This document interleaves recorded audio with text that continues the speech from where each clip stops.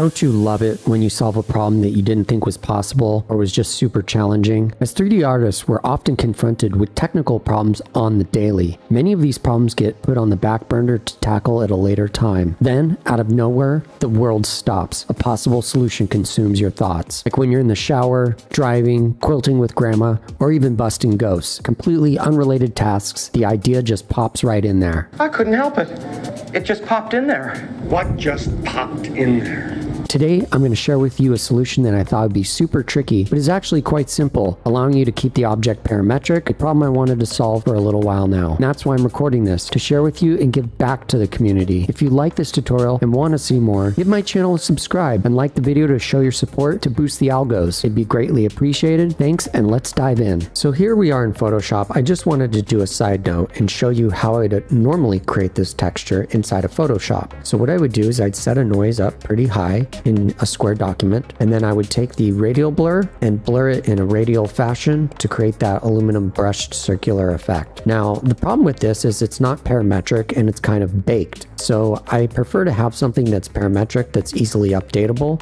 That was the background behind this texture that I created and why I wanted to do it inside of Cinema 4D Redshift. So what I'm going to do is I'm going to stop the IPR render. I've got a button up here at the top that just turns it off. You can edit by going to Redshift, IPR, and dragging the button into a location that makes it easier so you don't have to click the drop down. You can second just click this and it activates. Okay, so let's open up our tool panels here. This is the attribute panel and then this is the node editor. So this is what we're going to be creating. It's this group and you can see we have a couple tabs on the group that controls the loops, which we'll talk about in a little bit the control noise and the ramp so you can basically retool this to use inside of your roughness channel, your color channel, your bump channel, and so on. So if we jump into the group, you can see that it's actually quite simple. A ramp node that plugs into a multiply node, then a modulo, and another ramp to give us our final output. And here's that ramp that allows us to make those final adjustments. And then I've plugged them into the inputs and outputs. So let's go ahead and open up a new document and start this from scratch. Okay, so here we are back in Cinema 4D, and I've created a plane object, a disk, and applied a basic white standard material, applied it to the material, made the material white, and removed the reflections. What we're gonna do is we're gonna start off with a ramp, drag this in, and we'll drag in our texture and link it into the color channel. I'll render up the IPR and we have just a regular gradient. Nothing exciting yet. So next what we're going to do is we're going to take and we're going to add a multiply node. So it's just MUL, drag it in and it should highlight and link up. And this is how many times the ramp is going to loop. So I'll put something like four or five. And what this does is this kind of does like an offset. It's just multiplying it by a number, set it back to five. And we want this to multiply five times. So what we'll do is we'll add a modulo, MOD, and this will not work by the way. So what you do is you just drag it in and you have to manually link it.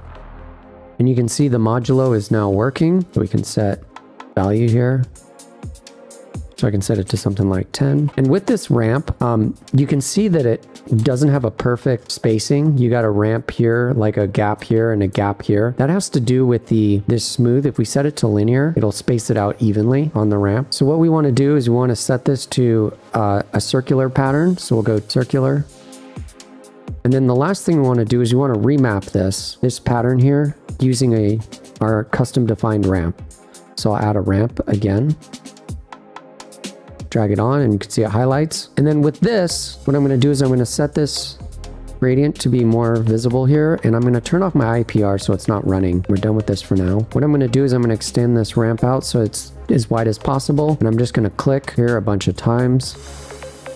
Select all of them by holding shift select the first one and then the last one and then we can set this to step which makes them stepped and we can also right click in this window here and say distribute selected knots and we can randomly position these. So I'll put one here, one here, one here. You don't have to be perfect with these. You just want to make sure that you have uh, equal spacing of the colors.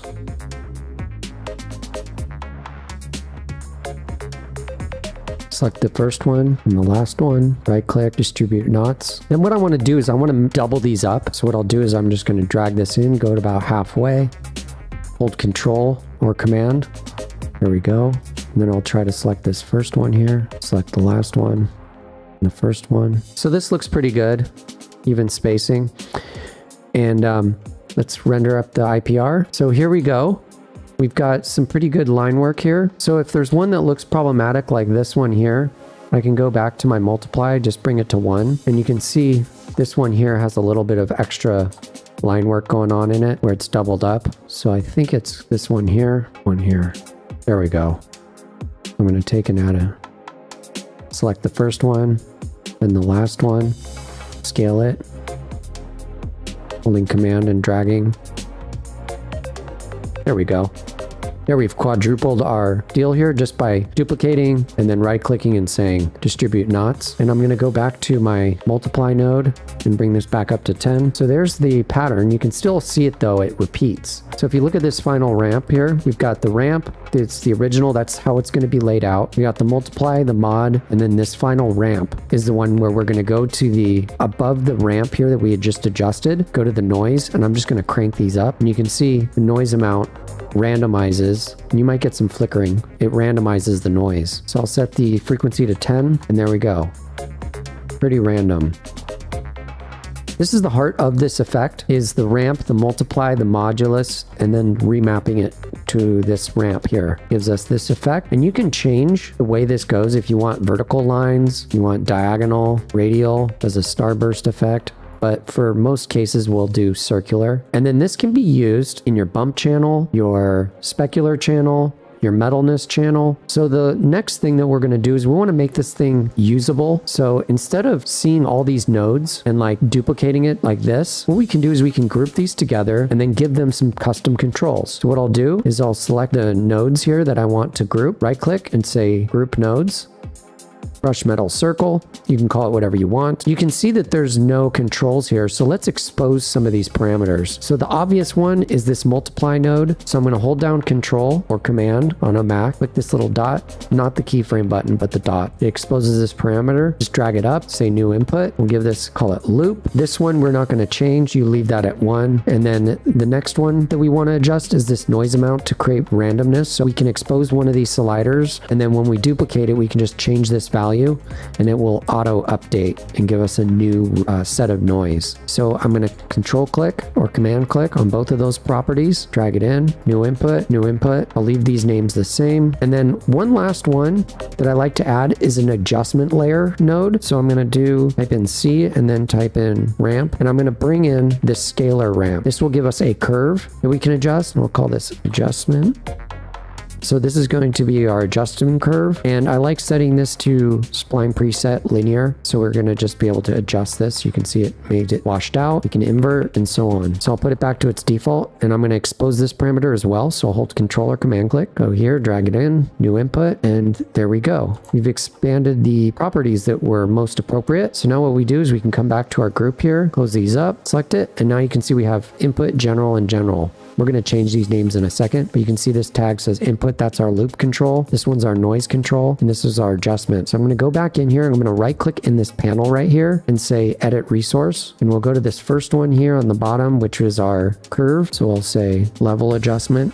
And you need unique names for these. Call this one levels. This next one is going to be the noise properties. So we'll say noise, noise control. If you put noise, it doesn't keep the name because it has to be unique. And then this one is our loop. So I'll call this looping. Now, once you hit OK and close that window, you'll notice it turned black. And that's because our properties reset. When you change those values, they reset. So we'll come in here and say 10 noise control. We'll set to 5 and 10. And then our level adjustment, you can adjust this as you see fit. Okay, that wraps it up for this part. This last and final example that I wanted to show you is in certain circumstances, you might need more noise and more gradient detail. And what I'm going to show you is how to stack these. So I'm going to go inside here. And what we're going to do is we're going to take these nodes here, duplicate them, give it a different modulo no number, number, add a color layer. This is our base.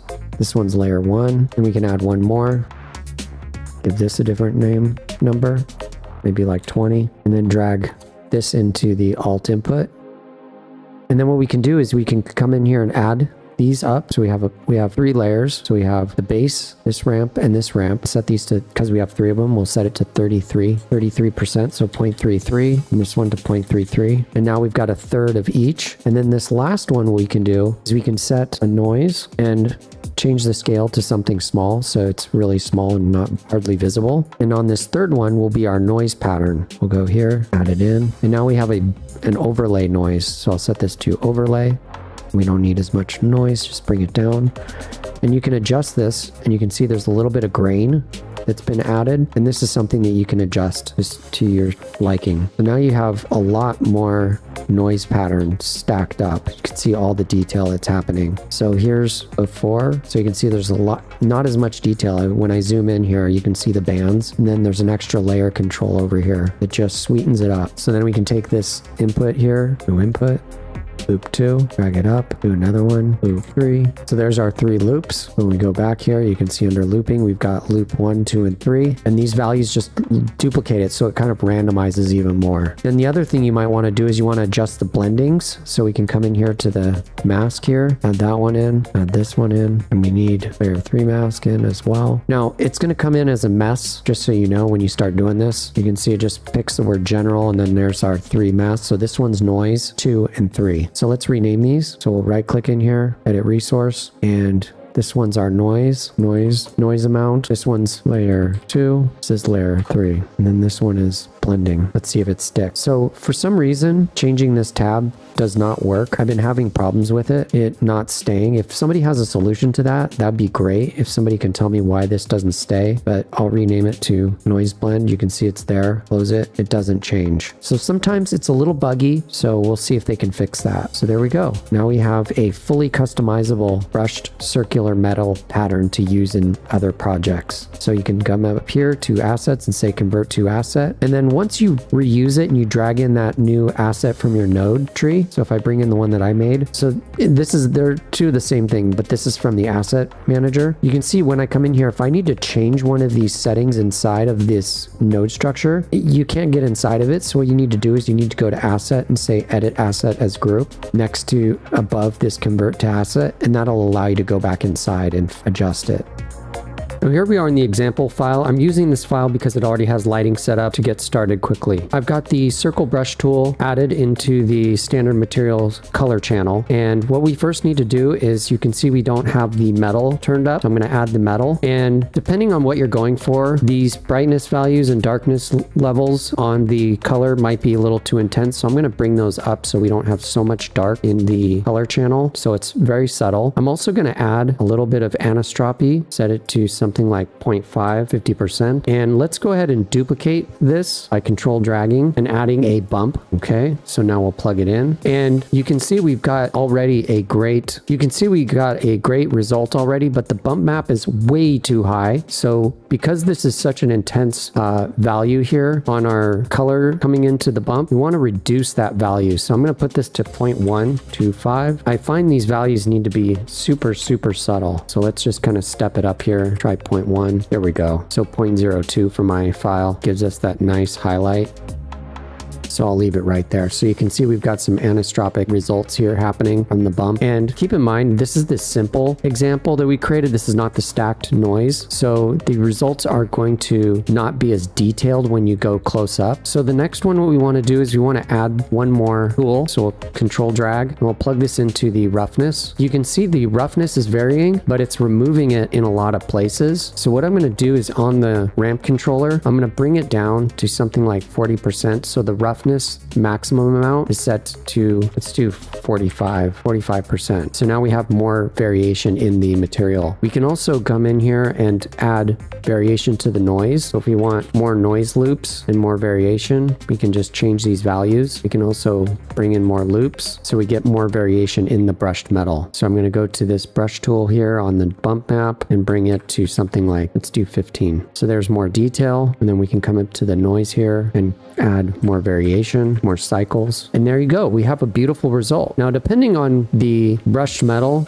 you're going to find that you need to go and put very small amounts in here. You can also go into the tools ramp control and just bring these down so they're more closer to 50%. And that will help reduce the bump levels. Because remember, 50% gray is unaffected. Darker values bump down, brighter values bump up. You can set this to 0.8 and then this one 0.20 or 20%. And that helps reduce it as well. That just wraps it up. We covered how to loop a gradient, remap it to create a circle noise gradient. We also learned how to make it reusable by adding controls. We layered it up for further detail, then plugged it all in. Don't forget to add the group to your nodes so you can reuse it later. Thanks for watching.